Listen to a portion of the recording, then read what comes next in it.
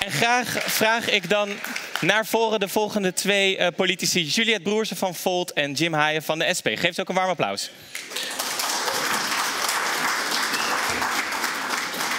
Welkom allebei. Dankjewel. Fijn dat jullie er zijn. Um, uh, Jim, Jim Haaien, hoe is het deze campagne? Want ja, het is niet de leukste manier om te beginnen, maar ik zat toch een beetje op een rijtje te zetten. Er is veel gedoe in de partij. De peilingen staan er niet zo goed op. Wethouder die niet zijn termijn heeft kunnen afmaken. Een nieuwe democratisch socialiste Amsterdam. Afgesplitst raadslid. Um, ja, hoe, hoe, hoe, hoe, gaat u de, de kiezer overtuigen dat de SP toch nog de partij is waar je op moet stemmen? Want dat gedoe leidt natuurlijk af. Yes. Nou, het zijn inderdaad, dat hoef ik niet te ontkennen, het zijn roerige tijden geweest voor de SP. En uh, ja, kijk, het is gewoon van de SP mag, je, mag de kiezer verwachten wat wij al jaren doen. We hebben acht jaar lang de stad bestuurd. Wat hebben wij gedaan als SP? We hebben ontzettend veel geld gestoken in armoedebestrijding. We hebben een stad als Alkmaar bijgebouwd als het gaat om woningen. 55.000 woningen. Ja. 20.000 woningen sociaal.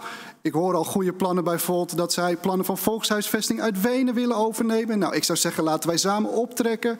Dus een SP-kiezer mag gewoon wacht, verwachten van de SP dat wij doorgaan met het bouwen van betaalbare woningen. Dat wij die tweedeling in de stad aanpakken en dat we die armoede gaan bestrijden. Die ja. nog steeds is in Amsterdam. Ja, dus in die zin vraagt u het vertrouwen van de Amsterdammer om te kijken naar de afgelopen acht jaar.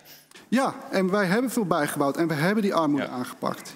Ja, en uh, als u dan, want u was ook de kleinste partij in de coalitie. Dat is toch altijd lastig, want je valt toch wat minder op uh, tussen GroenLinks en PvdA. Nou, Laurens Evans, de wethouder, die dus hè, wegens grensoverschrijdend gedrag weg moest, had daarvoor een goed profiel opgebouwd op die woningmarkt. Maar toch, het is lastig als kleinste partij. Zou u zeggen, de SP moet weer gaan besturen? Nou, als wij door kunnen gaan met het bouwen van betaalbare woningen, het aanpakken van die tweedeling. Overigens hoorde ik net in het vorige debatje dat, het een dat we nu een knijter links college hebben. Ik vind het overigens wel meevallen hoe links dit college was. Ik heb bijvoorbeeld uh, GroenLinks, ja, ik heb GroenLinks en de, van de Partij van de Arbeid bijvoorbeeld gemist toen het Slotervaartziekenhuis gesloten werd. Hè. Dat is nu alweer mm -hmm. een jaar of twee, drie geleden. Toen stonden wij vooraan als SP om dat ziekenhuis te redden. Nou, die andere partijen die gaven niet thuis. Dus zo links was dat college, ja. dat college eigenlijk. Maar goed, dan wilt u misschien wel weer in een college gaan zitten. Met het risico dat dat soort dingen weer gebeuren. Wij gaan alleen in het college zitten als wij door kunnen gaan met de bouw van genoeg ja, betaalbare ja, ja. woningen. Okay, dat mag je van de SP verwachten. Okay. Juliette Broersen, Volt, hartelijk welkom. Fijn dat je er bent. Um, Volt staat er ook, uh, nou, die, die, staat er goed voor. Ja, zeker. Um, um, tegelijkertijd kunnen we niet helemaal omheen. Het is uh, rare dagen voor Volt. Ook landelijk, met Nieuwe ja. Gundogan. Krijg jij daar iets van mee in Amsterdam? Hoe, op, op wat voor manier krijg jij dat nu mee? Ik kan me voorstellen dat dat voor een partij in opbouw een pijnlijk moment is. Ja, laat ik me vooropstellen dat, um, dat het gewoon verschrikkelijk is voor de mensen die daarbij betrokken zijn. Uh, ook voor Niliver zelf. En dat ik gewoon snel hoop dat het onderzoek wordt afgerond en dat we door kunnen, uh, door kunnen gaan.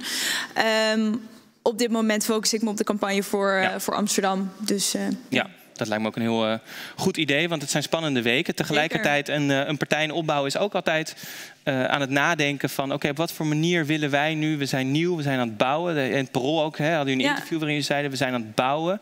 Dus dan is altijd de vraag... Uh, in de laatste peiling stond dat 31% van de ondervraagden wilde dat Volt ging meebesturen. Mooi hè? Ja, maar ik kan me ook voorstellen dat je denkt, nou misschien moeten wij eerst even het raadswerk leren. Of moeten wij eerst nog even. Of zeggen jullie, nou misschien, misschien moeten we wel die sprong wagen en gewoon in ieder geval dat als optie houden. Ja, kijk, ik, ik, blijf, ik blijf daarin bescheiden. Peilingen zijn echt peilingen. Um, maar Volt is wel een partij die verantwoordelijkheid pakt en die verandering teweeg wil brengen. En als dat betekent dat wij, uh, stel volgens de laatste peilingen, we halen daadwerkelijk zes zetels, ja, dan deinzen wij er natuurlijk niet voor terug om mee te regeren. Um, maar nogmaals, we blijven bescheiden, peilingen zijn maar peilingen. Ja, ja oké, okay, maar dat is wel een andere toon dan landelijk, waar ze dus zeiden van we willen eerst eigenlijk eerst die Tweede Kamer leren kennen. Ja, maar ik denk dat je landelijk en, en de gemeenteraad voor Amsterdam niet, niet helemaal met elkaar kan vergelijken. We zitten natuurlijk ook nog niet in de Eerste Kamer, um, dus het is daar een heel ander systeem dat het hier is. Oké. Okay. Nou, dan, dan, gaan we ons vooral op de gemeente focussen. En dat gaan we doen met ons eerste thema. En dat is namelijk het thema van Volt. En dat is jongerenvertegenwoordiging. Ja. Kun je ons kort meenemen waarom jullie vonden dat we het daarover moesten hebben met de SP ook vandaag? Ja, um, ik vind jongerenvertegenwoordiging uh, een enorm belangrijk thema. Niet alleen de vertegenwoordiging, maar ook de participatie. Uh, ik ben heel erg blij om te zien dat er net best wel wat, uh, wat jonge mensen zaal in kwamen lopen. Um, maar het is nou eenmaal een feit dat niet heel veel jonge mensen stemmen. Vooral voor de gemeenteraadsverkiezingen. En ik denk, ja, ik zie hier de VVD al zeggen, we zijn allemaal jong, maar... Je bent zo jong als je je voelt, dat klopt. Maar um, ik denk dat er echt nog wel kansen liggen voor de politiek om de urgentie van het stemmen op de gemeenteraadsverkiezingen aan te kaarten. Uh, ik denk dat er nog steeds heel veel mensen zijn die uh, nou ja, niet echt weten waarop ze nou moeten stemmen en, en, en hoe dat nou gaat binnen de gemeenteraadsverkiezingen. Dus dat vind ik heel erg belangrijk. Daar liggen kansen. Maar de urgentie van jongerenvertegenwoordiging is enorm groot. Er zijn, zo er zijn meer dan 100.000 mensen in Amsterdam die tussen de 15 en de 25 zijn. En daarvan is niemand vertegenwoordigd in de gemeenteraad van Amsterdam. Niemand van de 45 raadsleden die in 2018 zijn verkozen, zijn op dit moment onder de 30. En ja, dat vind ik kwalijk. Ja. En dat is niet alleen in Amsterdam zo, dat is uh, in heel Nederland zo. In heel Nederland zijn maar 7% van de raadsleden zijn onder de 30. Terwijl op dit moment we tegen zulke grote problemen aanlopen die jongeren raken. Kijk naar het leenstelsel, de basisbeurs. Kijk naar uh, woningen voor jongeren, betaalbare woningen. Kijk naar de mentale gezondheid van jongeren, de afgelopen coronacrisis. Dat zijn enorm belangrijke thema's waar jongeren voor aan tafel moeten zitten om daar beleid voor te okay. vormen. Het gaat, sorry, ik ben bijna. Af, ja? ja, het, gaat, het gaat om onze toekomst waar nu beleid voor wordt gevormd.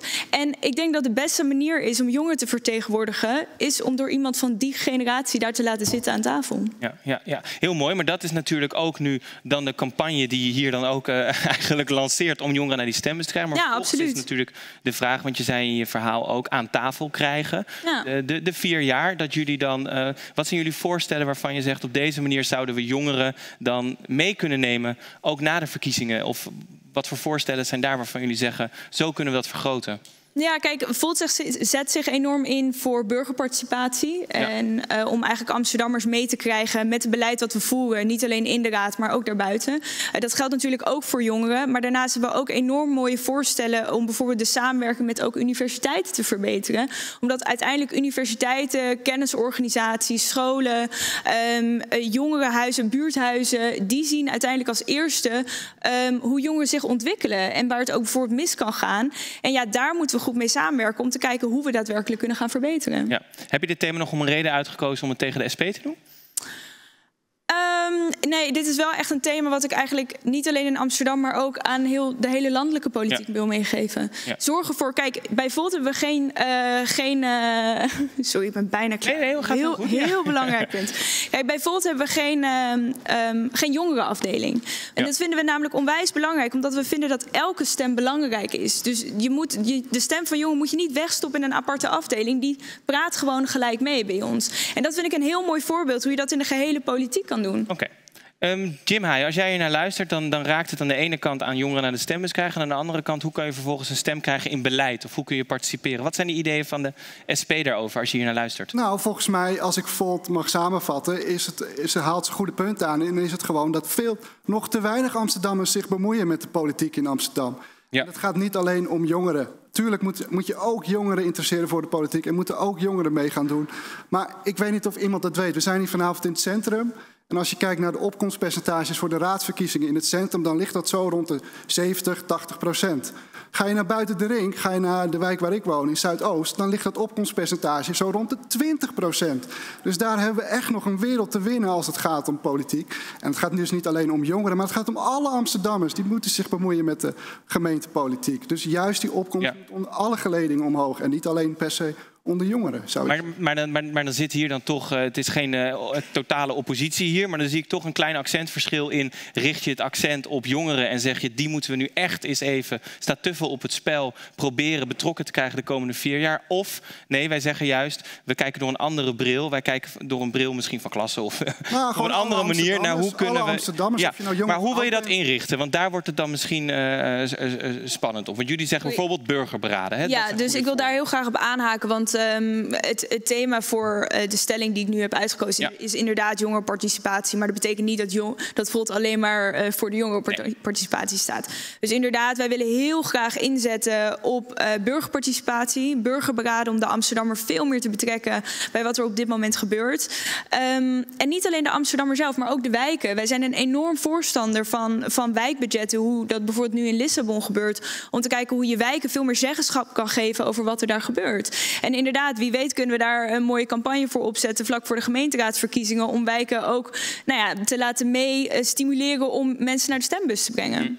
En welk mandaat heeft zo'n burgerberaad dan? Want dat is natuurlijk de volgende stap. Je vraagt mensen om een mening te geven. Nou, de, de windturbines hebben misschien laten zien hoeveel weerstand je ook kunt oproepen door participatietrajecten op te tuigen. Ja, we zijn. Ja, welk mandaat geef je? Ja, kijk, uh, je moet sowieso schijnparticipatie tegengaan. Je kan niet tegen de Amsterdammer zeggen: joh, je mag leuk meebeslissen, uh, maar nee, toch niet. Uh, dan gaat er denk ik iets heel groot mis. Uiteindelijk moet je van tevoren goed afspreken waarvoor je zo'n beraad instelt, wat het mandaat gaat zijn. Ehm, van tevoren de mensen uitkiezen, zorgen dat dat een diverse groep is, ze goed informeren, uh, zodat uiteindelijk niemand teleurgesteld achterraakt. Maar is er dan een situatie mogelijk waarin zo'n burgerberaad aanbevelingen doet die de gemeenteraad moet overnemen?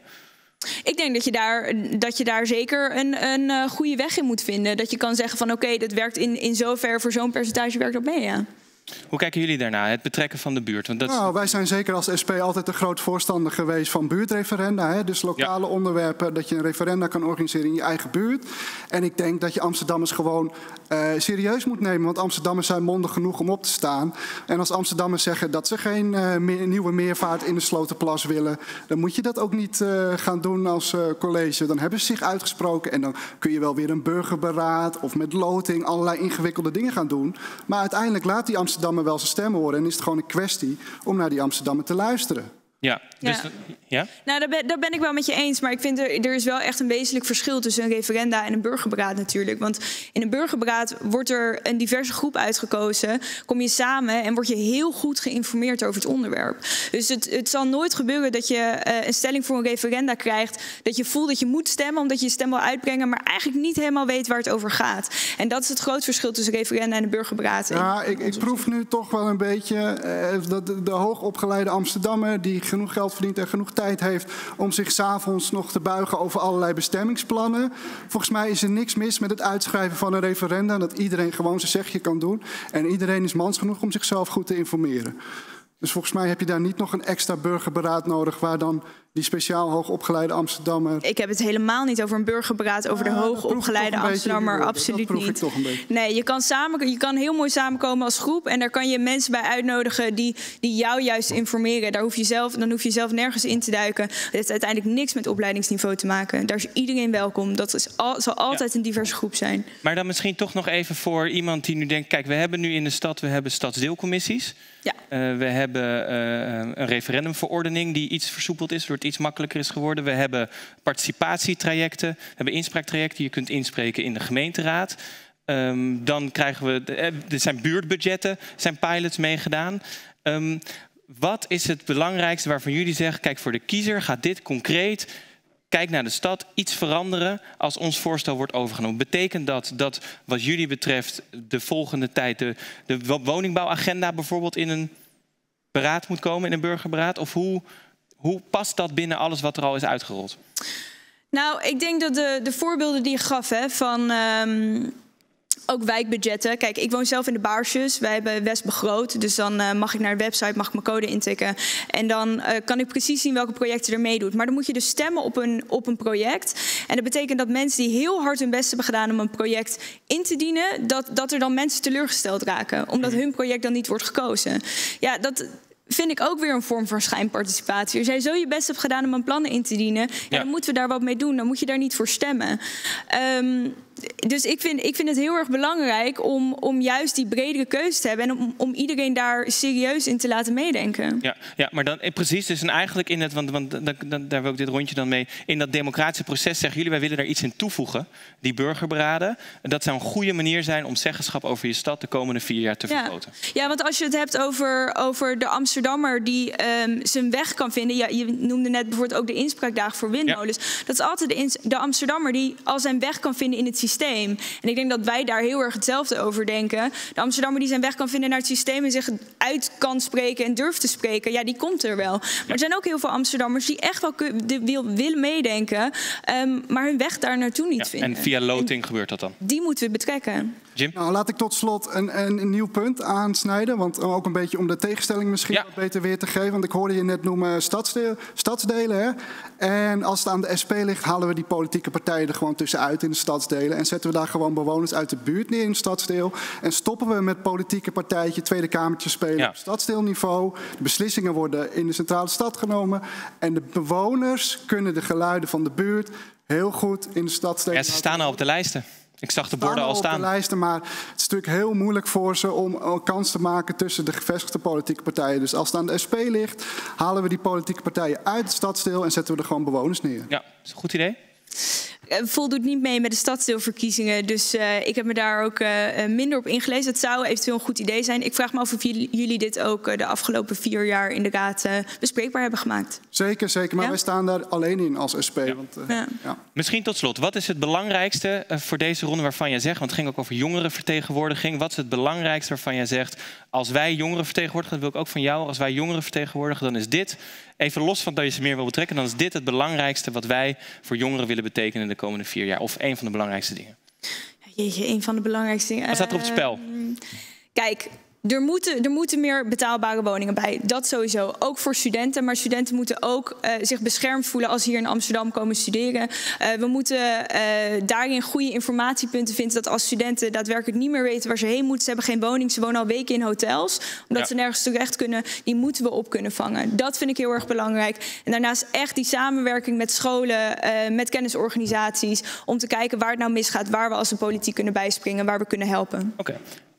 Tot slot, Jim. Yes, nou ja, het is inderdaad, de meeste jongeren moeten nu tot in hun dertigste bij in het ouderlijk huis wonen. Hè, omdat ze geen uh, betaalbare huurwoning of betaalbare woning kunnen vinden. Het allerbelangrijkste is gewoon uh, sociale woningen bijbouwen. Zodat die jongeren het ouderlijk nest kunnen verlaten en hun vleugels uh, uit kunnen slaan. Okay. Nou, daar zijn we het over eens. Yes. Misschien een mooi bruggetje ook naar het tweede thema. En dat is het thema wat de SP heeft meegenomen. En dat is, het is een hele zin, de doorgeslagen internationalisering van de stad onder invloed van het grote geld en het internationale bedrijfsleven. En ook jij hebt een halve minuut tot een minuut om dat even concreet te duiden waarom we het daar vanavond over moeten hebben. Yes, nee, ik las van het weekend een mooi interview in Parool uh, met de collega's van Volt. En in dat interview werd gezet dat expats en internationals noemen jullie ze een verrijking zijn voor de stad. Nou, laat ik één ding zeggen. Amsterdam is een wereldstad met mensen uit alle hoeken en windstreken van de hele wereld. En dat blijft zo ook zo. Maar die internationalisering is wel doorgeschoten wat de SP betreft. Want het zijn die experts, hoogopgeleide experts, die uh, soms wel meer dan een ton per jaar verdienen, een zak geld meenemen naar de stad, daardoor de huizenprijzen opdrijven. En ervoor zorgen dat die jongeren uit Nieuw-West of uh, Osdorp, Slotervaart, Noord, mhm. Tuindorp, Ozaan geen, woning meer, geen betaalbare woning meer kan vinden in de stad. Dus de, de gigantische toestroom van expats is wel degelijk een probleem, want het leidt tot verdringing op de woningmarkt ik hoorde ook al uh, over werkgelegenheid, is het ook een probleem. Want waarom moeten we in Amsterdam een ICT'er uit India in laten vliegen door het internationale bedrijfsleven? Terwijl er zat jongeren zijn in Nieuw-West of in Zuidoost die je ook prima zou kunnen opleiden tot ICT'er om dan lekker aan de slag te gaan. Ja. En ik hoorde net ook over uh, internationale studenten, hè, de universiteiten. Nou, die universiteiten die hebben heel lang gezegd: laat maar komen, die internationale studenten, wij willen ze hebben. Ze hebben al zo gek lopen verwerven. Daar zijn we als SP altijd kritisch op geweest. En wat zeggen de VU en de UvA nu? Het loopt ons over de schoenen, we kunnen het niet meer aan. Internationale studenten moeten maar in een chaletje kamperen in het Amsterdamse bos, want er is geen kamer meer te vinden. En nu leiden ze de noodklok, die universiteiten. Dus die internationalisering, ja, die is wel een beetje doorgeslagen. doorgeslagen. Ja, Juliette. Ja, kijk, Amsterdam is altijd al een internationale handelstad geweest. Dus ik denk dat we ook heel erg trots mogen zijn op ons internationale karakter. Um, ik ben het helemaal met je eens dat uh, we een groot focus moeten hebben op de Amsterdammers. Er moeten betaalbare woningen zijn. We moeten focussen op kansenongelijkheid. We moeten focussen op het onderwijs hier in Amsterdam. Uh, we moeten er echt voor de Amsterdammer zijn. Maar om onze internationalisering tegen te gaan, dat is als tegen het internet zijn. Dat, dat kan niet. Dat zit in ons karakter. Uh, we kunnen dan net zo goed weer de auto de deur uitdoen en de paard pakken. Want uh, de, we, we, zijn een internationale handelsstad. Waarom zouden we met onze handen achterover moeten zitten? We kunnen toch wel degelijk tegen die bedrijven zeggen... nou, het is prima als jullie in Amsterdam willen vestigen... maar let op, we hebben wel een voorwaarde... en dat is dat je ook jongeren uit Nieuw-West en uit Zuidoost gaat opleiden... en dat je ook daar werkgelegenheid en banen voor schept. Je hoeft niet zomaar achterover te zitten. En we kunnen ook wel degelijk die beleggers aanpakken. Ja. ja, en dat doen we. Weet je, er zijn, er zijn organisaties zoals Codam bijvoorbeeld... Uh, die, die jongeren hier ook enorm helpen... met, met het vinden van aansluiting op de... Op, nou ja, op de op, op goed werk, op, op technisch werk, op werk wat, uh, wat ook te maken heeft met code, coding bijvoorbeeld, waar meer, meer, werkgelegenheid in zit. Dat woord zocht ik, sorry. Um, dus die organisaties zijn er en ik denk dat we die samenwerking moeten verbeteren. Als je kijkt naar bijvoorbeeld Oram hier in Amsterdam, ja. die zegt ook, er zijn hier enorm mooie grote bedrijven en we moeten juist zorgen dat die bedrijven beter geconnect zijn met Amsterdam, okay. zodat ze inderdaad werkgelegenheid bieden aan iedereen, zodat ze uh, deel uitmaken van het hele Amsterdamse ecosysteem. Maar laten we hem even dan uiteensplitsen in een paar kleine onderwerpen, zodat we hem concreet kunnen pakken op wat dat betekent voor keuzes die je maakt. Want een van de dingen die genoemd wordt is natuurlijk de gevolgen van expats op de woningmarkt. We hebben ook gezien dat door uh, de coronacrisis uh, expats uh, de stad uitgingen. Dat heeft uiteindelijk geleid. Oh, oh we hebben nu, sorry, dat, maar ja. we, hebben, we zien nu al, ze komen nu alweer terug. Hè, en we zien nu alweer dat de huur in de vrije sector aan het stijgen zijn. Ja, nou ja, dat was eigenlijk het punt wat ik wilde maken. Dat je inderdaad zag dat door de expats de huurprijzen iets zakten bijvoorbeeld. De, de, de invloed daarvan, hoe, hoe kijk je daarnaar? Hoe kunnen we nou ja, er zijn Amsterdammers die zoeken een woning en die denken, ja, ik kan die 1700 euro huur niet betalen in de vrije sector, maar zo'n expert die het vaak ook nog betaald krijgt door zijn bedrijf, kan dat wel betalen. Dat ja. is oneerlijk. Ja, en, dat, en dat, ja, dat, dat is ook een enorm probleem. En ik denk dat de SP en Volt zich daar heel erg tegemoet kunnen komen. Inderdaad, in het faciliteren van uh, meer lagere, uh, meer goedkopere woningen. Voor lage inkomens, voor middeninkomens. Uh, een woonbouwmodel zoals Wenen, zoals je net heel mooi noemde. Daar willen we ons op inzetten. Want er moet gewoon woonruimte voor iedereen zijn. Ja. Anders verliest Amsterdam inderdaad ook het karakter. Want even, het, dan mag je regelen. Het woonbouwmodel van Wenen is onder ja. meer dat de stad die koopt of die heeft heel veel sociale huurwoningen in bezit. En die zorgt dat die nooit daarboven uitkomen. Precies, dus daar blijven de huren blijven hetzelfde voor, voor tien jaar lang ook. Zodat een Amsterdammer ja. gewoon weet waar die aan toe is. Dus de gemeente Amsterdam moet huizen gaan kopen? De, de, gemeente Amsterdam moet zeker huis in bezit hebben, ja zeker. Yes, nou, een korte opmerking over dat Weense model en dan ga ik snel weer terug naar Amsterdam. Kijk, in, in Wenen kunnen ook mensen met een middeninkomen in een sociale huurwoning uh, terecht. En dat lijkt me hartstikke goed als we dat ook in Amsterdam doen. Dus ik trek daarin uh, samen met Volt op. Mm -hmm. Maar dan wil ik wel, laten wij dan beloven dat Volt dat ook gaat doen. En niet dat ze straks in zee gaat met D66 en de VVD en gewoon weer de sociale huurwoningen gaat afbreken. Dan moet Volt die belofte ook waarmaken en zorgen voor goede sociale woningbouw voor iedereen. Dan terug naar Amsterdam. Volgens mij zijn we veel te lief voor dat internationale bedrijfsleven en die expats. Wat je moet doen, je moet die beleggers de pas afsnijden. Want wat er nu gebeurt is dat grote internationale beleggers die kopen panden op. En wat gaan ze doen? Ze gaan ze duur verhuren, wat je net vertelde, inderdaad, aan die expert die 2000 euro in de mm. maand makkelijk kan leiden. Wat je moet doen, is die beleggers de pas afsnijden door een uh, opkoopbescherming in te voeren, een zelfwoonplicht. Dus al koop je een huis, dan moet je er ook daadwerkelijk in gaan wonen. Ja. En dan snij je die beleggers te pas. Maar daar is de coalitie al mee bezig geweest, toch? Daar zijn we druk mee bezig, ja, maar dat is een van de dingen. En dan moet je ook zorgen dat je Amsterdammers voorrang kan geven. Ja. ja. Hoe kijk jij daarna, naar, naar die voorrangspositie? Want kijk, in het interview las ik ook van misschien uh, moeten we ook de randgemeente meer gebruiken. Zeker. Ja, dat zijn twee manieren waarop je daarnaar kan kijken. Dat is mooi, maken we de schaal groter. Dan kan ja. ook mensen zeggen, maar waarom zouden die dat wel willen? Dat zijn een beetje de twee uh, reacties die je daarop kunt geven. Hoe zie jij dat? Ik wil eerst heel graag even ja. reageren op, uh, op wat je zei dat uh, Volt uh, woord moet houden. ik denk dat, dat Volt zeker een partij is die daarin verantwoordelijkheid neemt. Dus we zullen nooit iets zeggen en iets anders doen. dat ten Daar eerste. Hou Daar hou ik u aan. Ja, dat, dat mag je zeker doen bij deze. Um, inderdaad, we moeten beter gaan kijken naar die, naar die randregio. Naar uh, uh, ook de verbindingen daar verbeteren. Om te kijken of we Amsterdam daarin kunnen uitbreiden. Om daar ook meer woningbouw bij te bouwen. Ehm, ja, absoluut. Daar moeten we zeker naar kijken. En dat, dat zelfwoonplicht, daar zijn we ook hartstikke voor. Daarnaast vinden we ook dat de hele woningmarkt een stukje transparanter kan. Ook mensen die bijvoorbeeld een woning gaan, uh, gaan kopen. Stel, stel je hebt het geluk. Ik, uh, ik denk niet dat ik voorlopig een woning kan kopen, dus ik heb geen idee. Maar stel je hebt het geluk om zelf een woning te kunnen kopen. Um, als je een bod doet op een woning, is het nu zo ontransparant als wat. Je hebt geen idee wat er daarna met het proces gebeurt. Dat kan, kunnen we allemaal transparanter en eerlijker maken. Je moet veel meer inzicht krijgen in, in wat daar gebeurt. Ja. Ja. En dan in de bouwproductie, wat is dan de verdeling, hoe jullie het voor je zien? We hebben expres geen percentages uh, in ons verkiezingsprogramma staan. We zien dat die percentages eigenlijk de afgelopen jaren niet zijn nagekomen. Uh, dus we zeggen inderdaad in ons verkiezingsprogramma... we willen inzetten op het woningbouwmodel Alewene... voor lagere inkomens, voor middeninkomens. Uh, we willen een project betaalbare koop, zoals er in Zaandam gebeurt. Dat vinden we belangrijk. Die percentages lijken tot nu toe loze beloftes. Yes, nou, ik wil even op uh, reageren op de opmerking dat die experts, ja, die kunnen wel naar de randgemeente. Ik weet niet of je wel eens in Amstelveen of in Haarlemmermeer, of je daar wel eens door het winkelcentrum loopt. Maar ook daar zijn gigantisch veel experts en daar, ook daar loopt het zo uit de voeten. Dus, dus gooi de experts maar naar de randgemeente, dat is volgens mij geen oplossing. En wat de percentages betreft, hè, als het aan de SP ligt, wordt er minstens 40% sociaal gebouwd, 40% voor de middeninkomens. Overigens, dat is ook zo'n voordeel van acht jaar besturen als SP. Dat segment van die middeninkomens, die gereguleerde huur, mm -hmm. die bestond voor die tijd helemaal niet. Dat heeft een SP-wethouder heeft dat voor elkaar gebokst. Dat ook dat middensegment gereguleerd gaat worden. Daar kan nog veel meer aan verbeterd worden, maar we hebben het wel voor elkaar gekregen dat er een gereguleerd middensegment komt. Dus er minstens 40% sociaal en als het kan, even meer. Ja, misschien tot slot van deze, want we hebben één stukje daar nog eigenlijk niet in behandeld. Uh, de, het bedrijfsleven en, en, de economie van Amsterdam. Daarin de rol van de expat. Um, wat is het belangrijkste waarvan u zegt dat dat zouden we moeten doen? Want er was natuurlijk een paar jaar geleden flinke discussie over de komst van een groot medicijnkantoor. Want dan zijn 900 mensen komen naar Amsterdam. Die moeten ook een woning. is weer extra druk op de woningmarkt. Tegelijkertijd hebben we ook mensen hier die een baan zoeken. Wat is het belangrijkste wat jullie daarin willen? Um, ja, weer het belangrijkste. Er is zoveel om te vertellen. Maar ik zou dan wel graag het, uh, het ondernemersplatform willen aankaarten wat Volt wil.